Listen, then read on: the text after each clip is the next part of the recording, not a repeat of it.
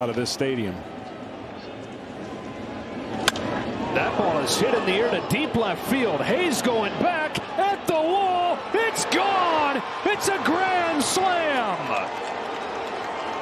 Mitch Garver breaks it open for the Rangers, who have nine runs over the first three innings.